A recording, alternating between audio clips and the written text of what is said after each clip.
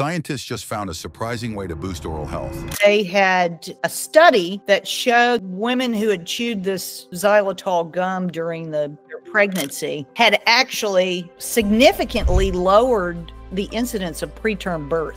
And it was because of the alteration of this oral microbiome. Pathogenic bacteria can't use that xylitol as a carbon source for growth, like they can use glucose and fructose. And the same is actually true of mannitol. So I went and did some research looking into that. I found that a number of these pathogenic bacteria cannot use mannitol to grow, but our good bacteria, our bifidobacteria and lactobacillus can use mannitol to grow, which of course in fermented foods, those are converting those sugars that the pathogens prefer, they're converting them and taking them away from those pathogens and turning them into a sugar that these better bacteria can eat.